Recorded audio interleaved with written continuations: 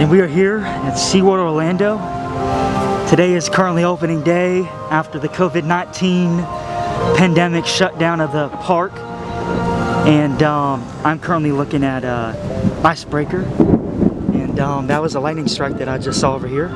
Um, yeah, uh, I think I might uh, get a little, little closer, kind of take cover.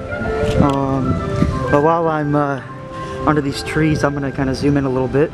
Um, look at that top hat right there, it's looking really great. Um, nice uh, focus, there we go.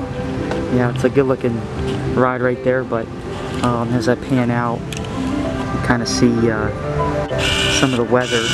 Uh, it's kind of hard to see that. Uh, yeah.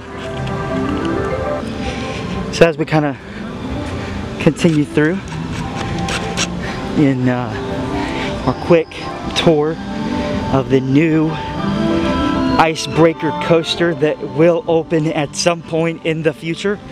Um, now, even as we walk around, uh, there's some lightning in the area, so you might hear some thunder.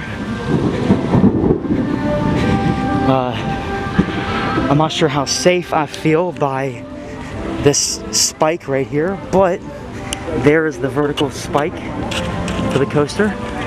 We'll get more on that in a little bit.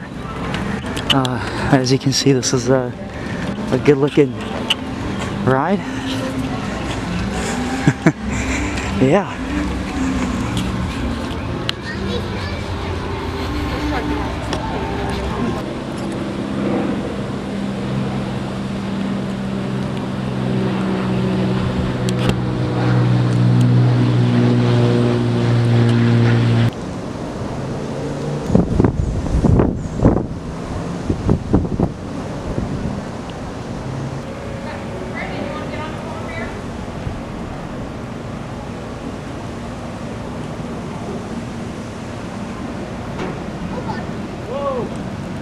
Down. Look, flip. Sit on the little one. You sit feet back on the little one.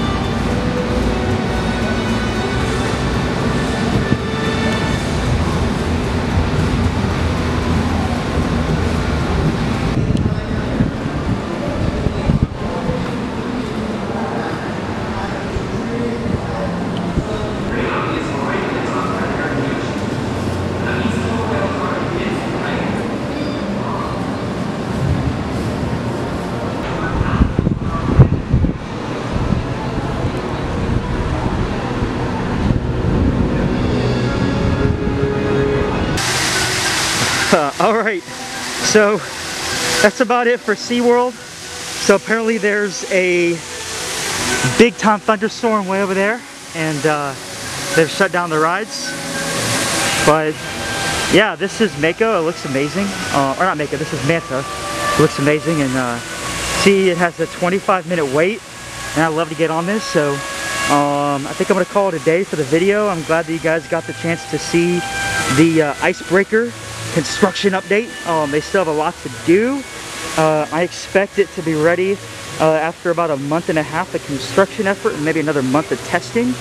So if they, they I didn't see any construction workers on site, but as soon as they resume, um, it'll it'll be about two and a half months, and then we'll be getting on that ride.